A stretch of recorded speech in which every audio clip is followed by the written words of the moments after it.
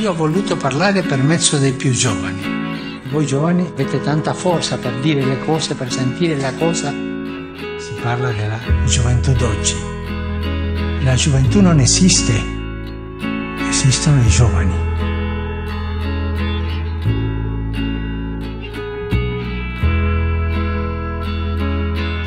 Un joven puede apoyar a la iglesia y al Papa, primero que nada, formándose muy bien en la doctrina de la iglesia católica.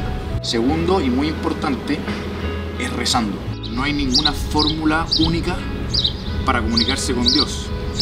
Yo, por ejemplo, me siento en el oratorio o en cualquier lugar en mi pieza, puedo pescar un libro, meditar las palabras que dice Cristo en el Evangelio que son siempre nuevas en definitiva.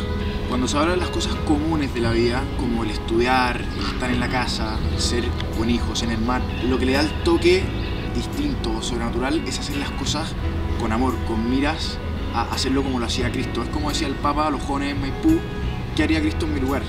Hay muchas, pero muchas buenas ideas en los corazones y en la mente de los jóvenes. Eso es lo que nosotros, la Santa Madre Iglesia, hoy necesita de ustedes, que nos interpelen.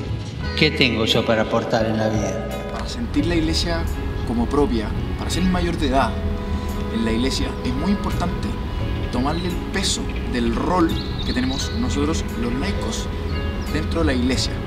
El hecho, por ejemplo, de todas las cosas que han pasado en la iglesia, no son solamente responsabilidad de los sacerdotes, de los religiosos, no son cosas alejadas.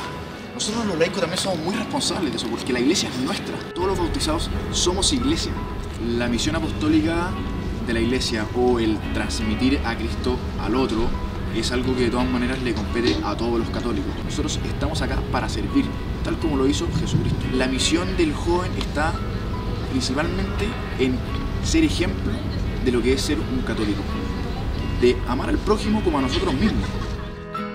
Interloquire, sentire i giovani.